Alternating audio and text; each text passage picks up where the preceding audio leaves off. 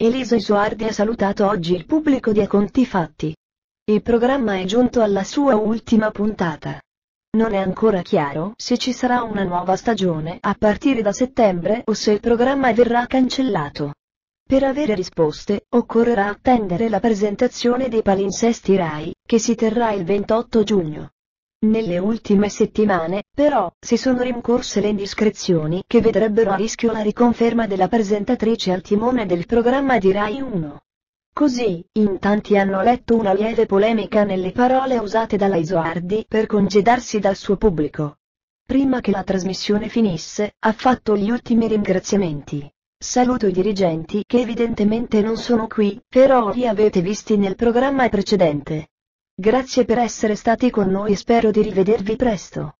Il mio pubblico è bellissimo, se fossero tutti come il mio pubblico. A me basta questo, grazie. Grazie per essere stati con noi, a presto. A conti fatti è stato bello. Va bene così. Il riferimento, probabilmente, era alle belle parole spese dal dirigente Rai Ludovico Di Meo nei confronti della trasmissione di Eleonora Daniele Storie Vere. In realtà, in mattinata, il direttore di Rai 1 Andrea Fabiano ha ringraziato su Twitter tutti i presentatori che si occupano del mattino di Rai 1.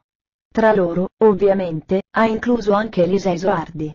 Grazie a Francesca Fialdini, Franco Di Mare, Eleonora Daniele, Elisa Isoardi e Antonella Clerici protagonisti del mattino di Rai 1. Chi se ne frega.